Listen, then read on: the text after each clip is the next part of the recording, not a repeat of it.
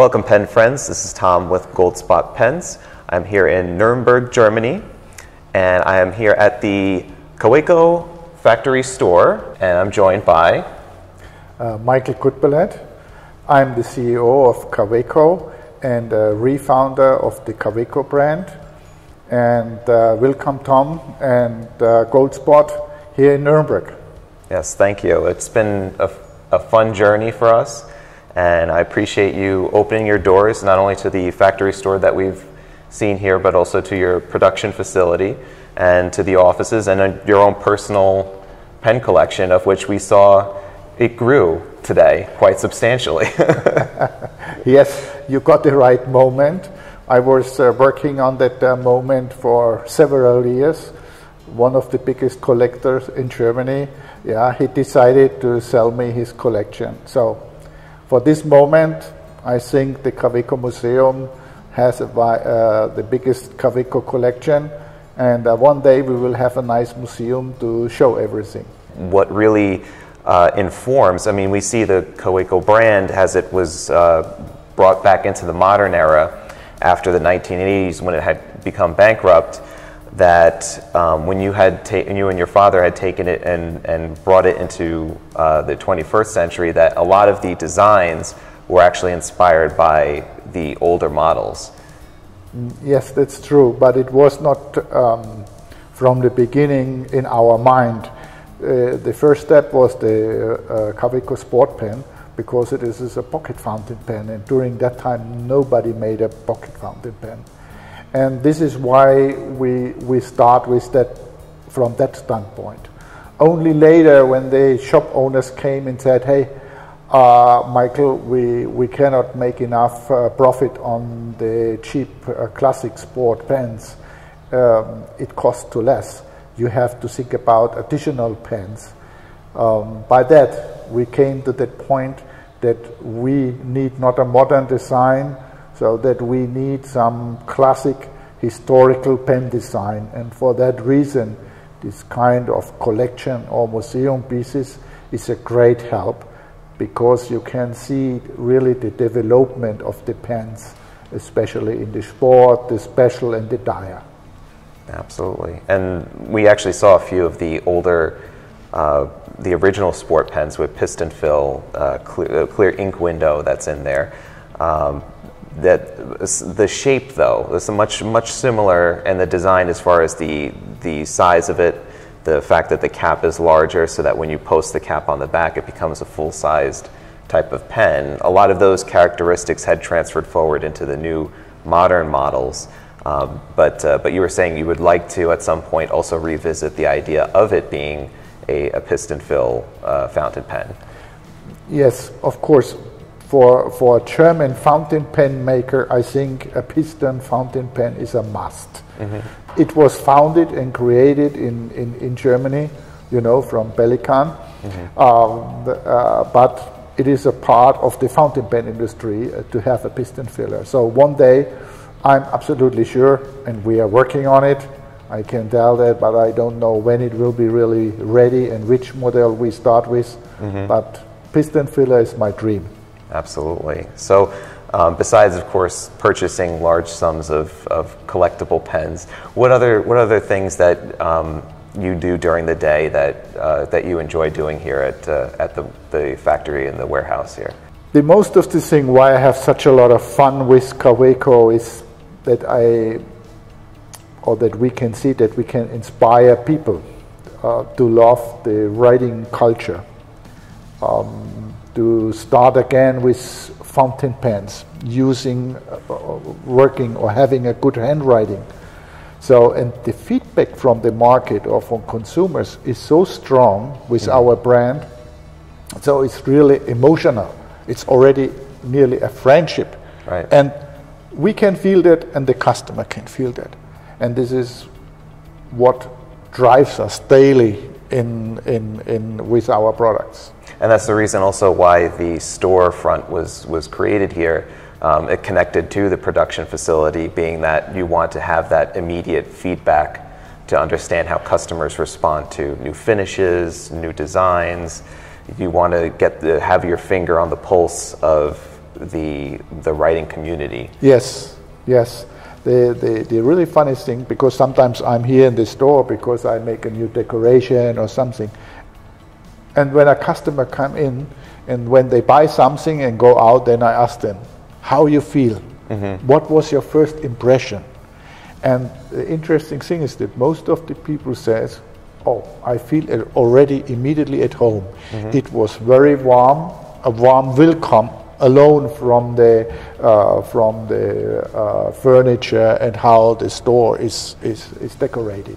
So this interesting feedback, together with the service we do, you can try all the nibs. The people feel very well, and everybody said, "Oh, we come back for sure." Do you get a lot of visitors internationally too who come to visit? Yes, internationally we have visitors because uh, some uh, are here on the fairground. We have a big fairground. It's number five or number six in Europe. The toy show, for example, is the biggest in the world here in Nuremberg in, in January.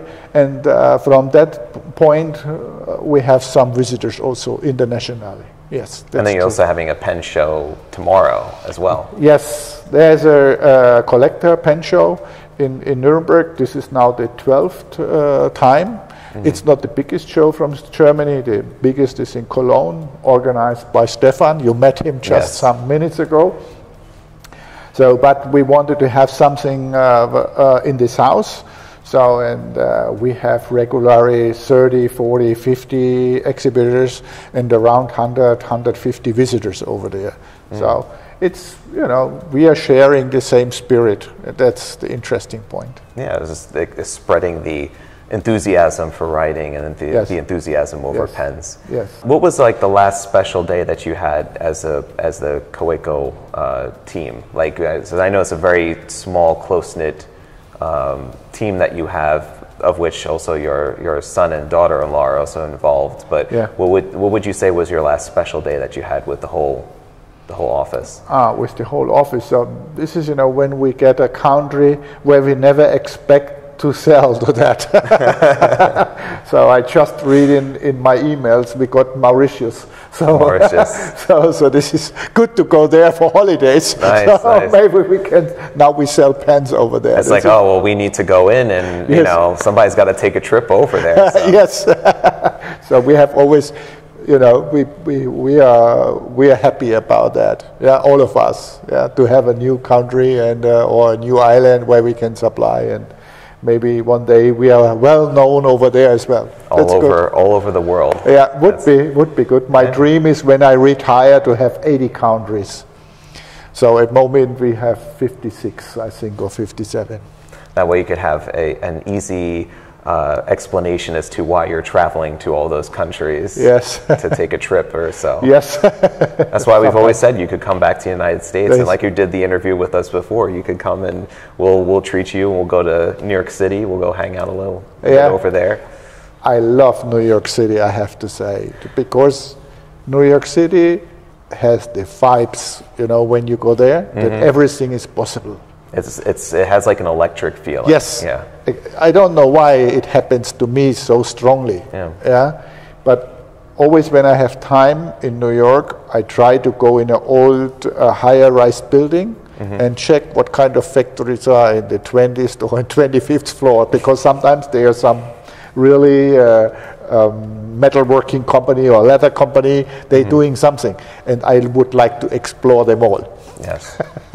there's a lot. There's definitely a lot of companies that are looking to be a big player or part of the bigger stage. That's where they go to. Yeah. Is, is New York is that hub. How do you usually enjoy just like writing with your pens? So usually uh, journal or or do you use them for for work purposes, taking notes, things like that? Now, with the with the old Kaweco stuff, I, I try only sometimes, once in a while, a pen, but then only for pleasure and how is the feeling.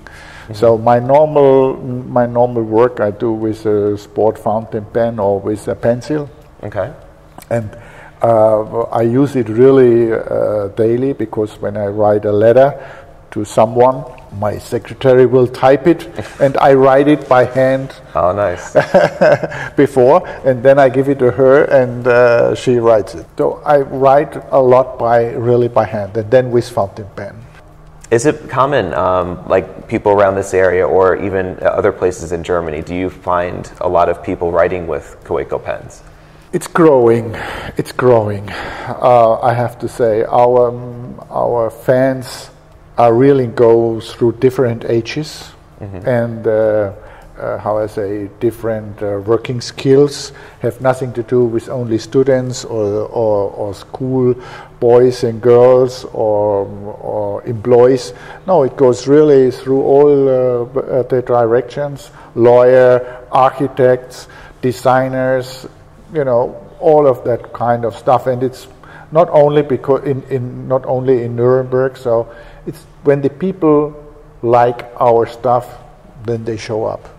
So this is what we, we found. Of course, we like to expand in Nuremberg the awareness with Kaweco. That's for sure. And uh, because it's more easy here directly when we are here. Yeah.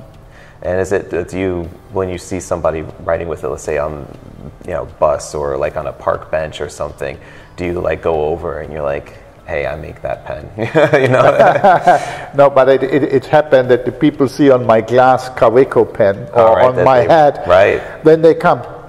You are from Kaweco? I'm using your pen. Nice, so, nice. so that's that's happened. Even Yeah. sometimes on the airport. Well, I still ha- I actually still, other than the people within, let's say, for example, I walk into, and you you know you know me, but um, there's some people I walk into with, uh, you know, in pen circumstances, like either at a show or at like one of the manufacturers, they will see me and they'll know my Yeah. face, but I haven't yet to be stopped by somebody just out of the plain blue and be like, I know you from. yeah, yeah, yeah, but, Yeah. but that's that's that's happened already.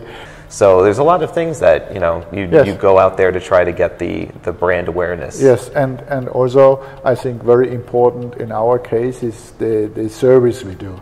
Because when the people uh, come back and even with a very old piece, we try to help them.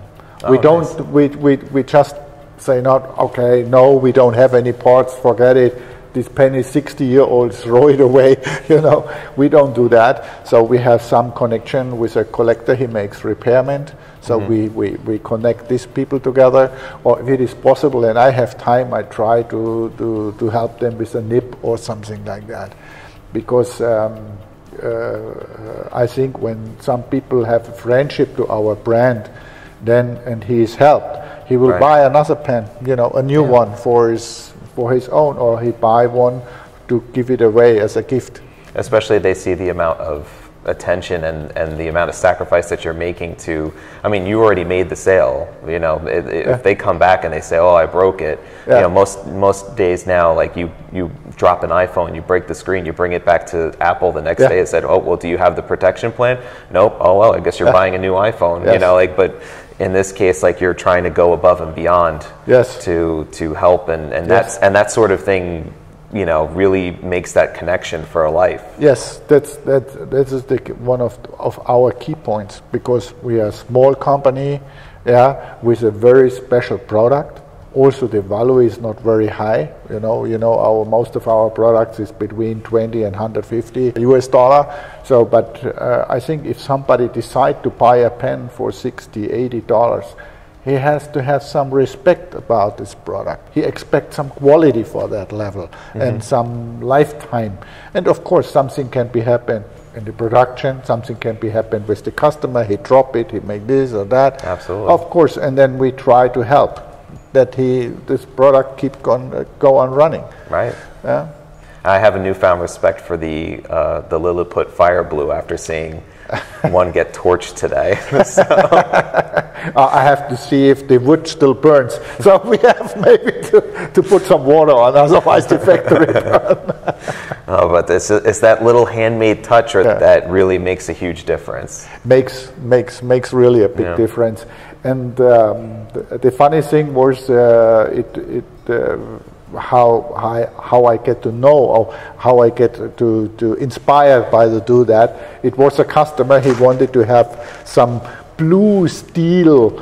Uh, there's some old furnish like that. So, and he said, "Why you don't have it? You are the right people for, or right customer, or a right supplier for that kind of stuff." So, I said, I, I never heard about, but I will learn it. I will do it. I will make something. I'll So- figure I'll figure something out. you know. Yes, and then I was in my cellar, you know, in my home, and I was uh, burning and burning and burning, you know, a lot of products, and uh, also the holders, and then I put it in water and in oil, and uh, I put some liquid around. I had a lot of um, tests, Yep.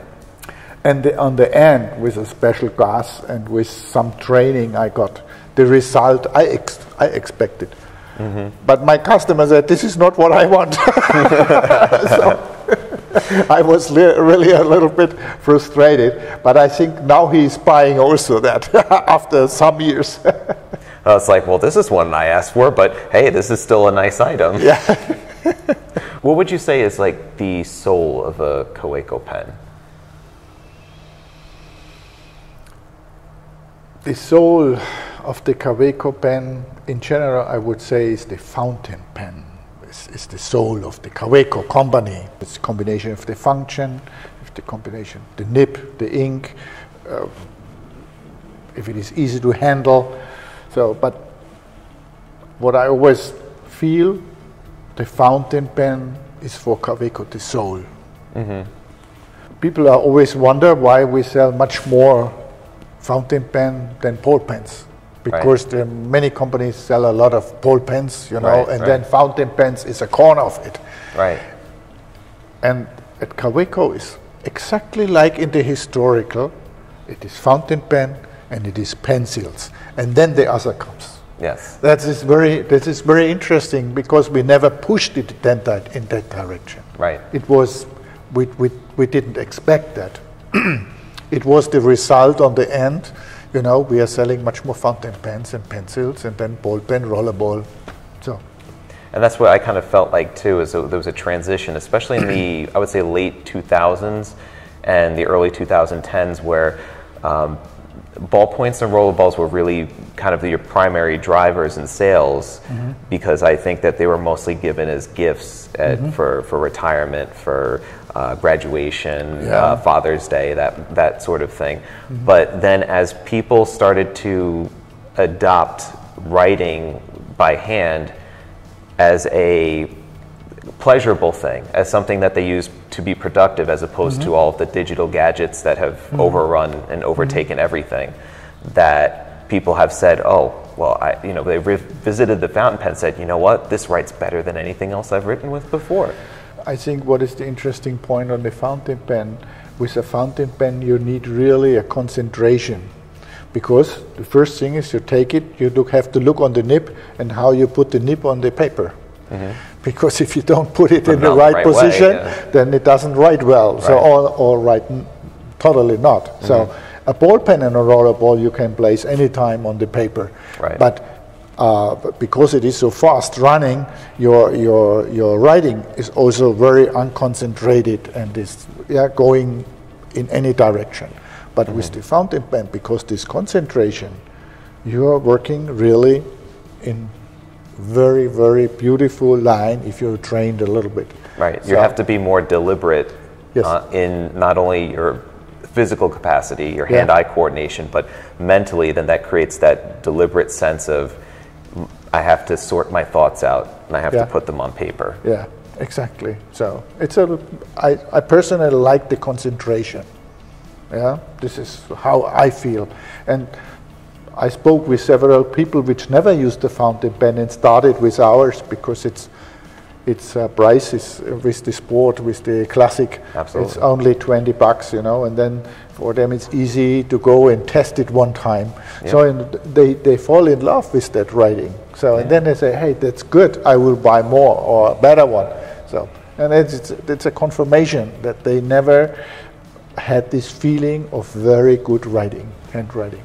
Absolutely. And then once you do, and you also find that perfect ink that goes along, and then that paper that complements everything together, then going back to cheap ballpoint pens and you know cheap paper pads, and that is no longer you know a, a thought in your mind. Yes. You need to go forward. Yes, then it's just a little memo and then throw it away again. Yeah. That's it. And you only keep them around if you need to make carbon copies of something. That's about Yeah. it. So, Michael, appreciate you taking us through the production facility and the the showroom here, and also your offices to take a look at also your growing collection of Yeah. uh, antique Kaweco pens and other brands as well. Um, you know, it's it's been great to come and visit you here in Germany and see these pens being made and shipped all over the world to pen fans worldwide. So uh, appreciate you taking the time with us. Yeah. And uh, we'll be seeing you soon, hopefully. Yeah, thank you, Tom, for coming by, and hope to see you soon. And I hope next time, please bring a little bit more time, also for a nice dinner. I will. I have to. Yeah, to, to come time to enjoy Nuremberg a little Yes, bit more. But yes. uh, but yeah, we had we had an action-packed trip. Yeah. So like normal business trips are. yep, absolutely. Okay. So Thank you. Bye stay bye. thank you, my friends. Take care.